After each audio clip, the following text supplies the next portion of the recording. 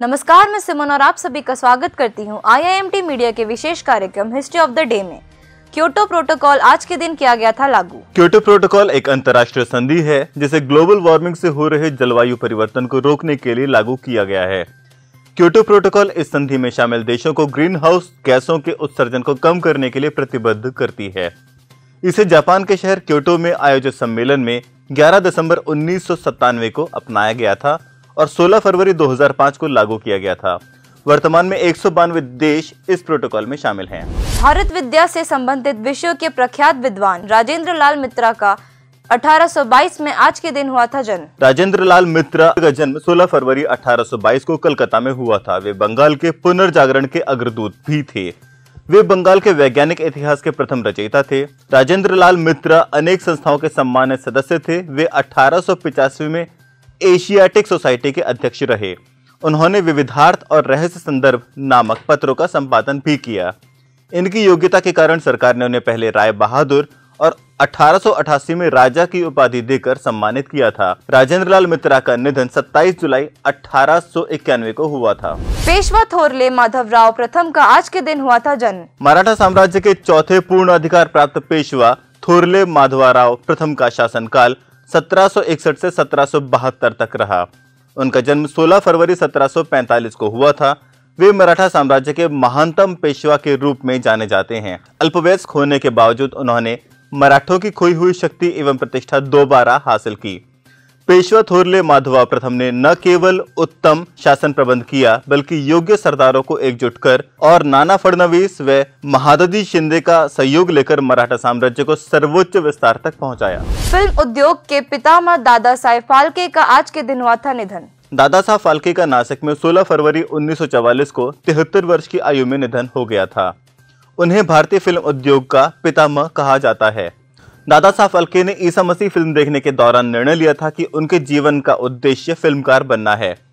फरवरी 1912 में वे film production में क्रैश कोर्स करने के लिए इंग्लैंड गए और वहाँ से वापस आकर देश की पहली फ़िल्म राजा हरिश्चंद्र बनाई। सिनेमा जगत का सबसे प्रतिष्ठित पुरस्कार दादा साहब फाल्के पुरस्कार उनके सम्मान में दिया जाता है। आज के लिए बस इतना ही। कल फिर भेंट होगी। इतिहास में दर्ज कुछ और महत्वपूर्ण घटनाओं के साथ और अब आज का राशिफल।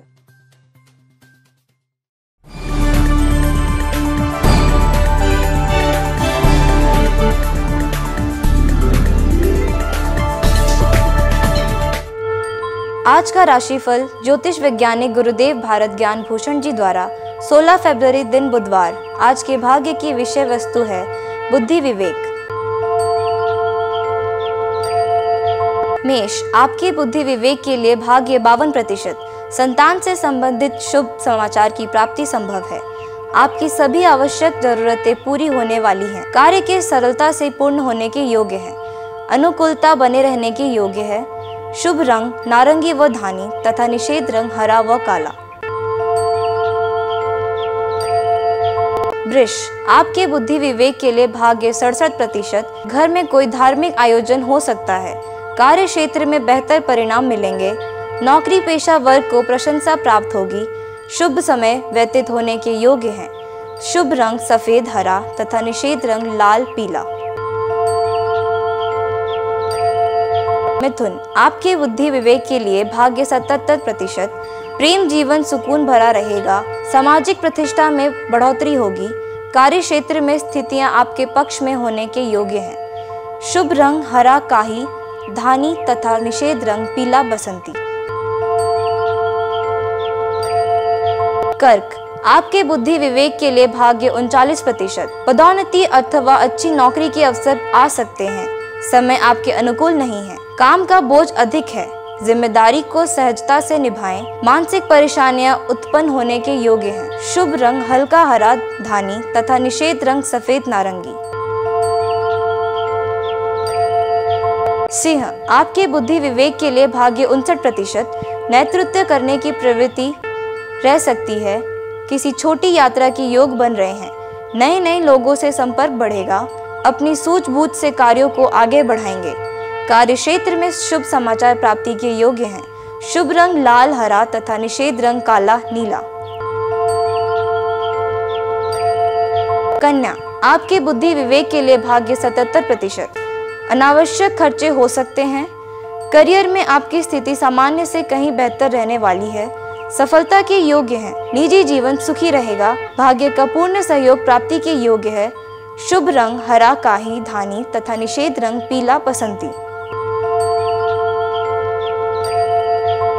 तुला आपकी बुद्धि विवेक के लिए भाग्य छिहत्तर प्रतिशत। आपके सभी काम ठीक से चलते रहेंगे। मन दुविधा में रहने के कारण निर्णय लेने की क्षमता कमज़ोर रहेगी। वाहन आदि चलाते समय सावधानी बरते जोखिम पूर्ण कार्यों से बचे। अनुकूलता बने रहने के योग्य है। शुभ रंग सफ़ेद, हरा तथा निषेध रंग पीला, लाल। वृश्चिक, आपकी बुद्धि विवेक के लिए भाग्य सत्तावन प्रतिशत। विद्यार्थी वर्ग सफलता हासिल करेगा। रोज़गार में वृद्धि होगी। विवाद से बचे, निवेश यात्रा व नौकरी मनोनुकूल रहेंगे। दूसरों के साथ व्यवहार करते समय उनके मान सम्मान का ध्यान रखें। स्वास्थ्य के प्रति सचेत रहे। शुभ रंग, नारंगी, धानी तथा निषेध रंग, सिंदूरी। धनु, आपके बुद्धि विवेक के लिए भाग्य इक्यावन प्रतिशत। रिटेलर्स और मैन्युफैक्चरर्स के व्यापार में वृद्धि की उम्मीद है। आपको अपने मन का करने का मौका मिलने वाला है। सामाजिक स्तर पर सक्रिय रहने का प्रयास करेंगे। संतान के प्रति चिंतित हो सकते हैं।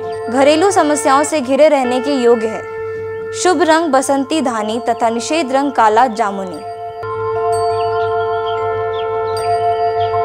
मकर, आपकी बुद्धि विवेक के लिए भाग्य चौहत्तर प्रतिशत। बौद्धिक और सृजनात्मक कार्यों में आप उत्तम प्रदर्शन करेंगे। जीवन साथी के संग समय व्यतीत करेंगे। व्यवसायियों को व्यापार विस्तार के अवसर आएँगे।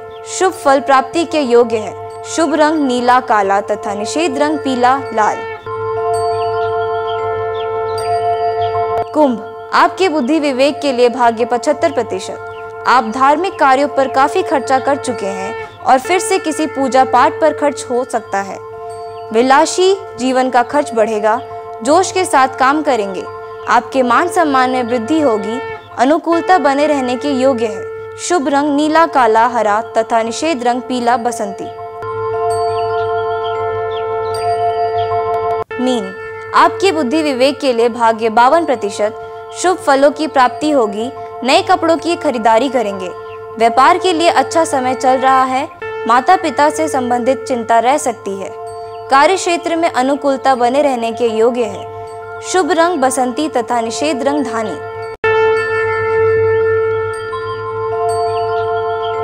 सभी के लिए दिन का नकारात्मक प्रभावी समय दोपहर बारह बज के बाईस मिनट से दो बजकर छह मिनट तक। अधिक जानकारी के लिए संपर्क करें ज्योतिष वैज्ञानिक गुरुदेव भारत ज्ञान भूषण जी को।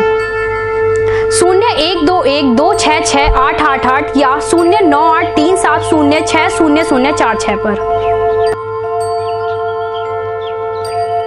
आज के लिए बस इतना ही। कल फिर मिलेंगे कुछ और नई जानकारियों के साथ। तब तक सब्सक्राइब कीजिए और देखते रहिए आईएमटी मीडिया